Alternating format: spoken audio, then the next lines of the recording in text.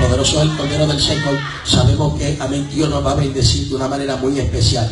Vaya conmigo al libro de Segunda de Reyes, capítulo 4. Búsquelo detenidamente, verso 15. Bendito sea el Cordero del Señor en adelante. Capítulo 4, verso 15.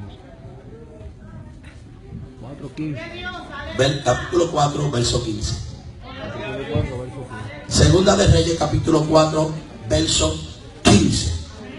Saludamos a todos los que están por las redes sociales cibernéticas ahí. Amén. De Facebook, todos los que están por las redes sociales de la emisora de la iglesia. Amén. ¿Cuál es el, website de la, iglesia? Promesa TV Jehová Chiré. Si usted ve que los celulares se van del aire, usted conéctese ahí. Poderoso es el Cordero del Señor. Cuando lo tenga me dice un amén. No se estuvo flojo. Cuando lo tenga me dice un amén. Ay, ay, ay. El que lo esté buscando pida misericordia. Hay gente buscándolo y yo sé que hay gente buscándolo por ahí. Poderoso es el Cordero del Señor. Segunda de Reyes capítulo 4 verso 15 en adelante. Cuando lo tenga me dice un amén bien fuerte. Amén. Dice así la poderosa palabra del Señor con la bendición del Padre, la del Hijo, el que levanta a los paralíticos, sana los enfermos y liberta a los cautivos, el Espíritu Santo de Dios y la iglesia que va para el cielo. Dice, amén. Dijo entonces, llámala. Y él la llamó y ella se paró a la puerta. Y él le dijo, el año que viene, por este tiempo, abrazará a su hijo. Y ella dijo, no, Señor mío, varón de Dios, no hagas burla de tu sierva. Escucha bien lo que dice ahora este verso. Mas la mujer concibió y dio a luz un hijo. El año siguiente, en el tiempo que Eliseo le había dicho. Cierre su Biblia y extiéndale la mano a tu hermano y dígale, este es mi tiempo. No, así usted no tiene ni medio tiempo, alábalo. Toca hermano y dile, este es mi tiempo. Díselo con actitud, con, con gozo, dígale, este es mi tiempo. Mírese para atrás, para la izquierda, para la derecha, dígale, este es mi tiempo, este es mi tiempo. Con gozo, dile, este es tu tiempo, tranquila, tranquilo, este es tu tiempo, vas a ver la bendición, vas a ver lo que Dios te dio, vas a ver lo que Dios te habló. Díselo, díselo, díselo, vas a verlo, vas a verlo, vas a verlo, vas a verlo, vas a verlo, vas a verlo. Vas a verlo, vas a Vas a verlo, vas a verlo. Saludamos a nuestro hermano amigo Angelita Carlos Soto que está ahí. Amigo, que está de camarógrafo. Padre Dios de gloria, Dios de poder. Dios de bendición. Tu palabra va a ser predicada. Ella inspira, ella es eficaz, ella es martillo, ella bendice. Ella exhorta, ella corrige, ella educa, ella levanta, ella restaura, ella alimenta. Nadie como ella, ella es poderosa.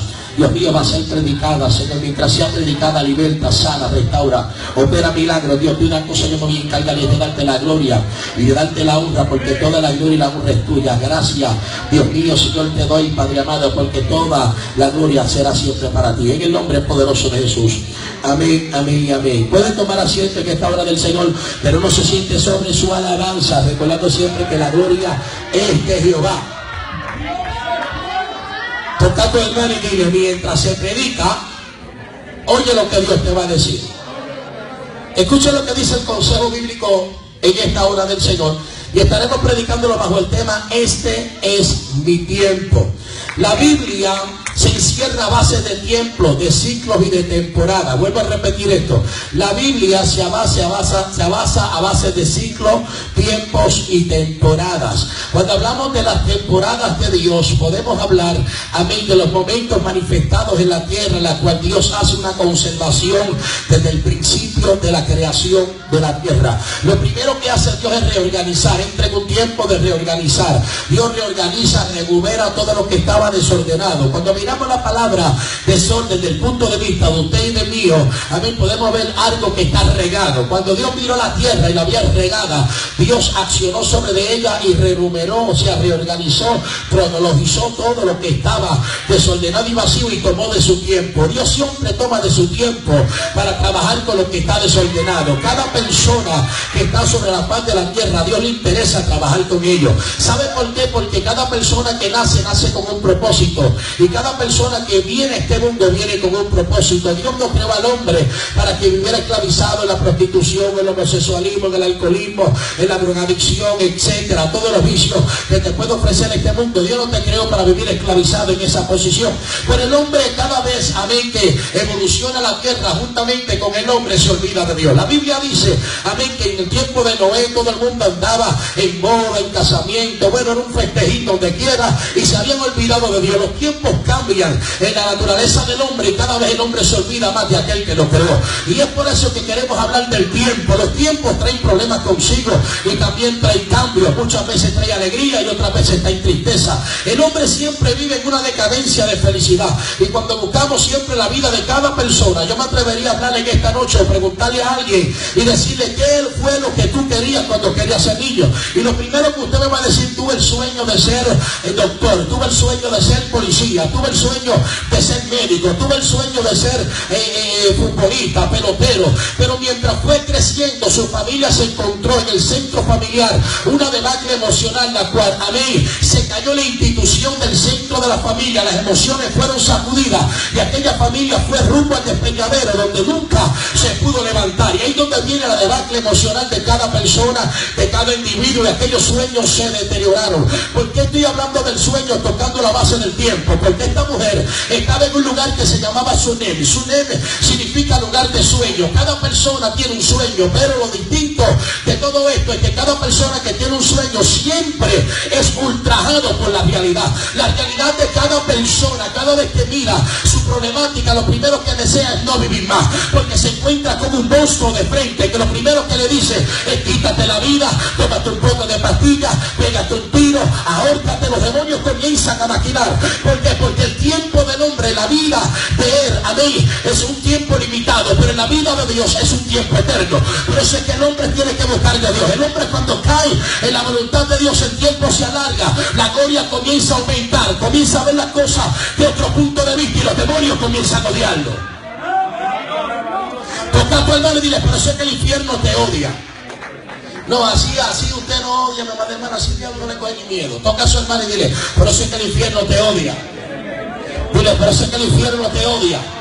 Y por eso es que vemos en este pasaje bíblico, había un hombre llamado Eliseo, había un tiempo en una mujer que se había detenido, había un parámetro, cuando hablamos de parámetro hablamos de un límite, hay un límite en la vida de aquella mujer. Y el límite en la vida de aquella mujer era que deseaba tener un hijo, pero no podía, pero estaba en el lugar de sueños. Y cuando hablamos de los sueños, hablamos del logro, tanto alcanzado como frustrado. Aquella mujer vivía un logro frustrado en su vida que era difícil de alcanzar. Su hombre, su esposo, su cónyuge era viejo. Amén. O sea, las neuronas no eran las mismas, el metabolismo no era el mismo, las células no eran las mismas, el conteo, amén, de espermatozoides no era el mismo. Aquel hombre no tenía, amén, de ningún tipo de vista que podía producir. Pero había una palabra que Dios había desatado sobre de Abraham y le dijo que se iba a multiplicar su generación. Por lo tanto, todo lo que viene de la línea patriarcal de Dios, el diablo no lo puede destruir. Si hay que el diablo odia de tu casa, de tus hijos, de tu familia, si hay que el diablo odia de ti, es que Dios ha determinado una palabra sobre tu casa y es que se multiplique. Habrá alguien conmigo en esta noche que diga, mi casa se va a multiplicar, se levantará. Toca a tu hermano y no me muero aquí, yo no me voy a morir No, no, no, dice con la actitud, dile, yo no me voy a morir Yo me voy a levantar de este hoyo, diga, de este hoyo me levanto yo. De este hoyo me levanto yo, díselo con autoridad. Dile, de este hoyo me levanto yo. Alguien que esté conmigo en esta noche y diga de este 8 me levanto 8. Este es mi tiempo. Mi casa se levanta. Mi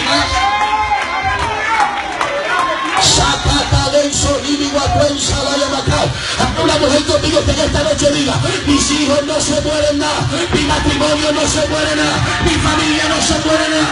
Ocho mazos y mi papá, ocho me levanto, ocho profetizo, ocho me muevo, ocho corro,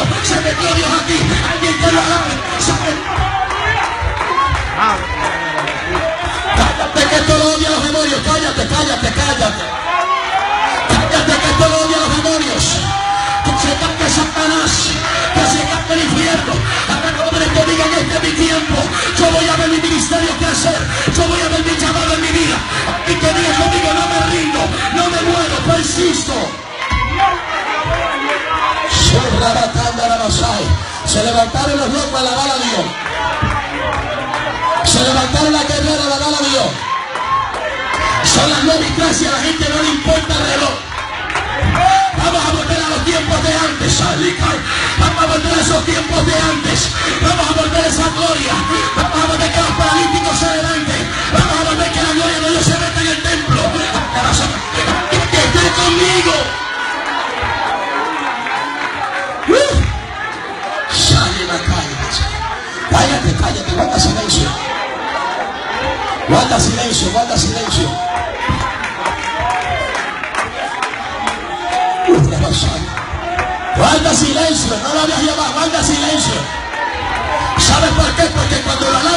Viene encima.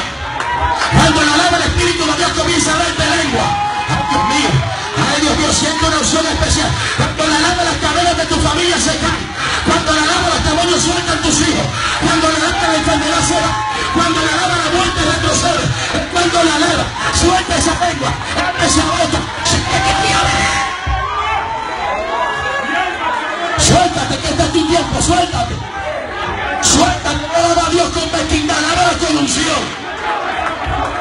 Dios con mezquindad, alábalo con doris.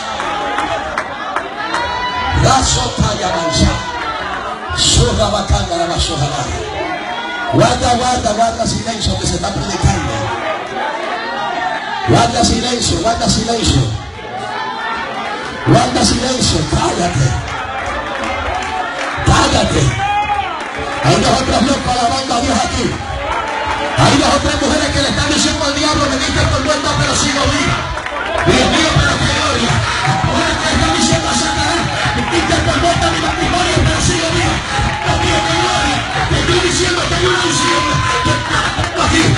los dichos, hizo, el doso, y yo, una masa. Suelta, suéltate, suéltate en el espíritu. Aunque venga la calle, aunque venga la información, aunque venga desánimo, este es tu tiempo. Abre esa boca, suelta esa lengua y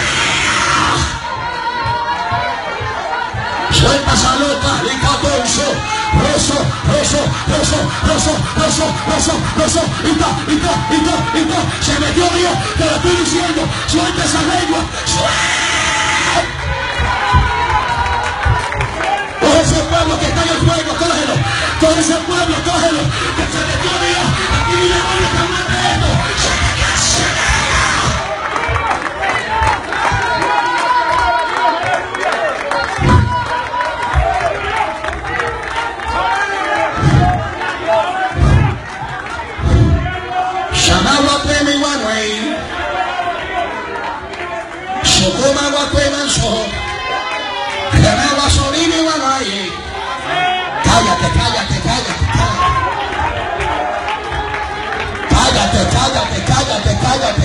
No la a Jehová.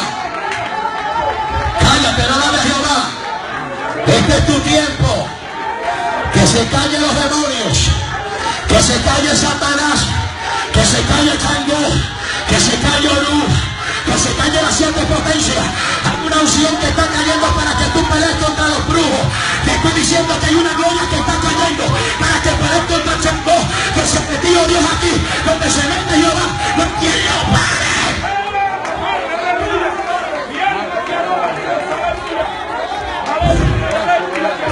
pare. Si lo vas a alabar a Dios, alábalo con el alma. No le deja a Dios una alabanza mediocre. No, no, no, no. No le deja a Dios una alabanza no mediocre. No. Abre esa boca. Tú quieres ver bendición de Dios. Abre esa boca. Tú quieres que los ángeles se metan contigo. En la prueba, abre esa boca. Si tú quieres que Dios le cierre la boca a los leones, abre esa boca. Suelta esa lengua y alaba a Jehová.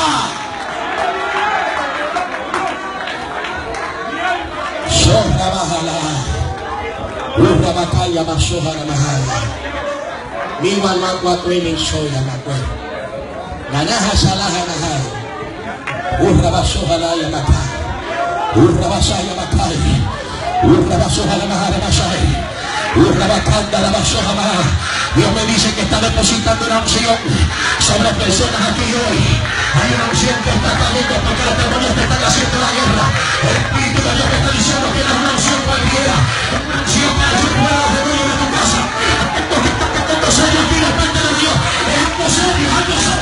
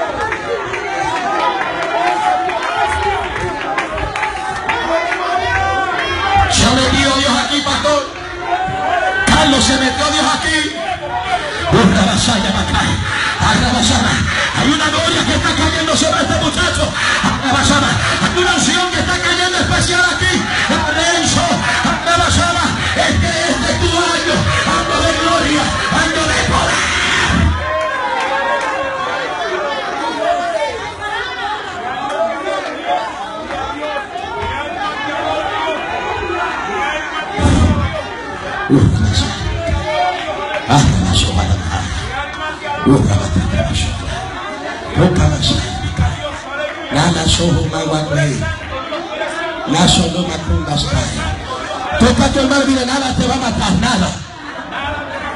Dile, nada te va a matar. No díselo con gozo que Dios te puede usar hoy. Dile, nada te va a matar. Dice. Tócalo por el hombro, por la cabeza. Tócalo por la oreja, tócalo por donde quiera de espalda. Y dile, no te va a matar Satanás, no te va a matar. Pero díselo con la unción del Espíritu Santo. Dile, no te va a matar, tranquilo, tranquila, que esa enfermedad se va hoy. Ah, rabasada, Lo estás tocando bajo la unción de Dios. Este es el tiempo de Dios usarte. Este es el tiempo de tu profetizar. ¿Qué es lo que te pasa? Ah, ¿qué es lo que sucede? Este es el tiempo tuyo. Dios te está diciendo, es tu tiempo. ¿Qué es lo Te quiero usar. Quiero usar tu lengua. Quiero usar tu boca. Este es tu tiempo.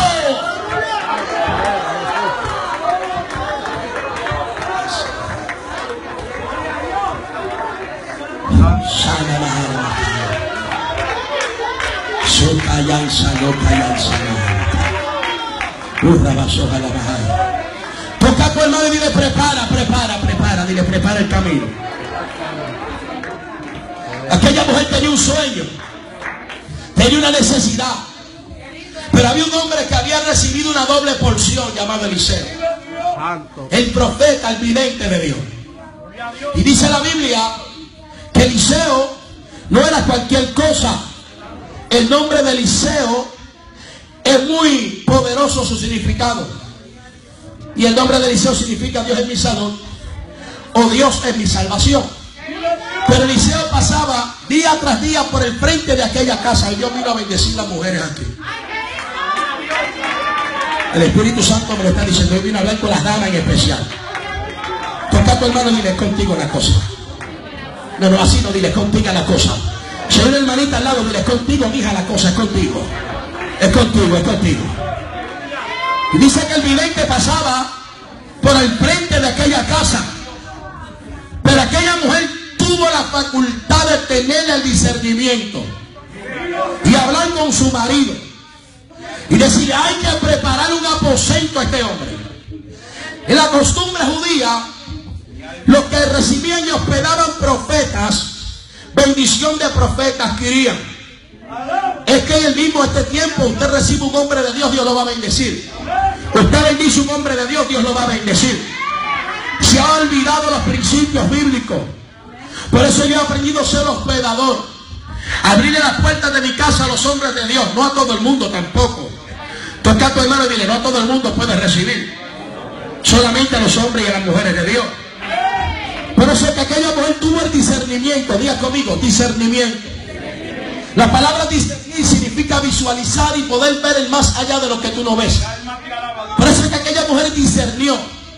Y cuando discernió aquel hombre, dijo, este es un hombre de Dios. Y no solamente era un hombre de Dios, sino que era un portador de la gloria de Jehová. Toca a tu hermano y dile, portar. Pero así que cuando usted porta, se lo voy a explicar mejor. Cuando usted va a sacar la aportación de alma, tiene que sacar un permiso. Para usted portar un revólver para poder defenderse. En el mundo espiritual, cuando usted acerca a Cristo, usted está portando su gloria. Y la palabra portador significa aquel que transfiere a otra persona. Usted tiene un virus encima de gloria que todo lo que usted toca lo transforma en gloria. Dios bendiga esos días. Usted tiene un virus de gloria encima. Yo no quiero que ese virus se me vaya. Que se me vaya el flu, que se me vaya el catarro, pero que la gloria no se vaya. Habla conmigo en esta noche. Cuando usted tiene esa aportación de gloria, todo lo que pisa la planta de tu pie, los demonios tienen que soltar. Esta gente vinieron a la Dios aquí hoy. Aquí se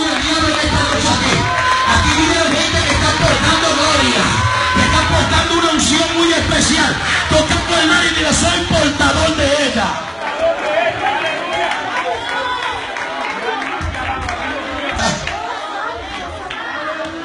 Por eso que aquella mujer dijo, yo voy a preparar un aposento. La palabra aposento es cuarto. La palabra significa habitación. La palabra habitación significa lugar donde tú te entregas. La palabra entregar significa pasión. La palabra pasión significa ser amado. La palabra ser amado significa recibir amor. La palabra amor significa forjar un carácter dentro de sí para poderlo proyectar. Aquella mujer dijo, yo voy a provocar que Dios me bendiga.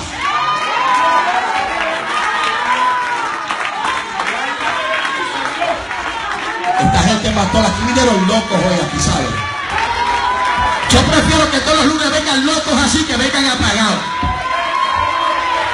Aquí vinieron gente a recibir esta palabra hoy. ¿Cuántos pueden alabar al Señor? Toca, toca a tu hermano que está a tu lado, dile, portador eres de gloria, díselo.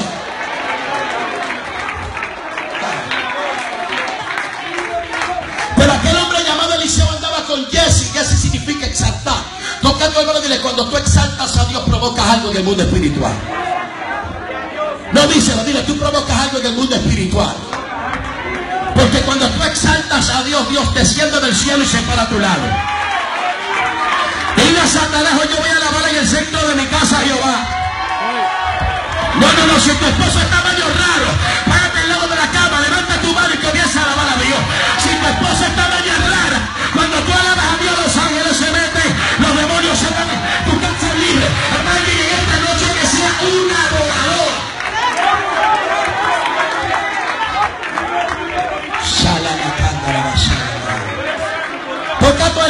hoy me le paro al lado en la cama a mi esposo y si está fumado, hoy me le quita la jumeta, díselo. Tienes que aprender a exaltar a Dios en todo tiempo. El salmista lo dijo, bendecirá a Jehová en todo tiempo y su alabanza estará de continua. Ay, ay, ay. En mi boca. El salmista lo dijo, a mí no me importa lo que esté pasando. Se me puede estar cayendo la casa encima, pero este es mi tiempo. Habré perdido el trabajo, pero este es mi tiempo. Habré el doctor diciendo que tengo diabetes, pero este es mi tiempo. El doctor me puede haber dicho lo que sea, pero este es mi tiempo.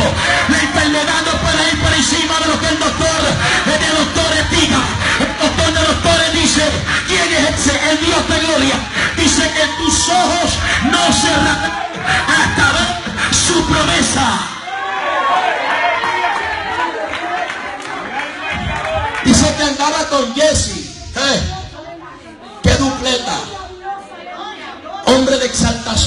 y hombre de salvación.